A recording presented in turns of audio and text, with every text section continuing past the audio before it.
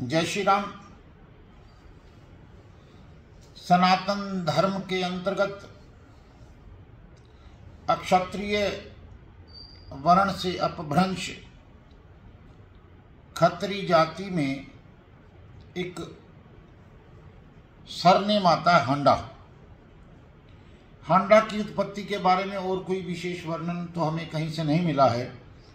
पंजाबी में हांडा कहते हैं बर्तन को। जैसे हांडी बोलते हैं, ऐसे ही हांडा एक बर्तन को बोलते हैं। इसके अलावा और कोई अर्थ हमें कहीं से प्राप्त नहीं हुआ।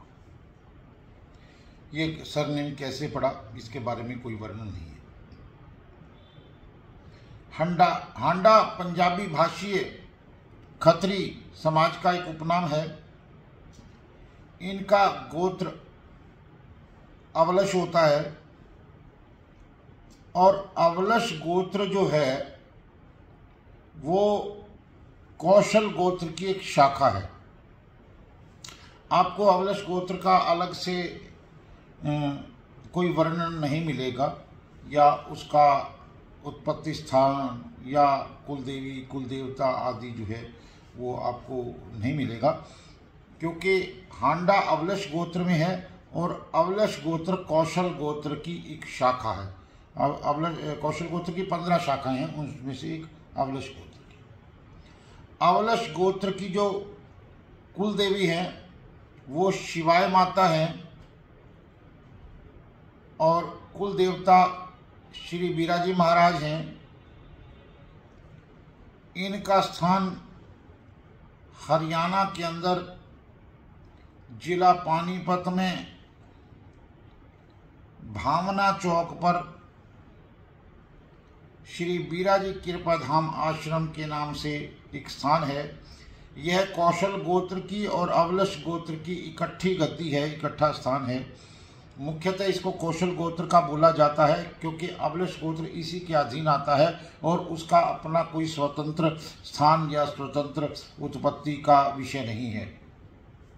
तो इसीलिए अवलश गोत्र की कुलदेवी शिवाय माता, कुलदेवता श्री बीराजी महाराज यहीं पर इनके जठीरों का स्थान है। हांडा उपनयन अवलश गोत्र के अंतर्गत ही आता है। जो लोग हांडा सरनेम से संबंधित हैं, वो अपनी कुल देवी के दर्शन हरियाणा में पानीपत ज़िले के अंतर्गत आने वाले एक भावना चौक पर श्री बीरा जी कृपाधाम आश्रम में कुल देवी का कुल देवता का कुल गुरु का और पितृदेवों का स्थान है। आप वहाँ आकर के दर्शन कर सकते हैं और अपने परिवार में एक सकारात्मक वातावरण बना सकते हैं।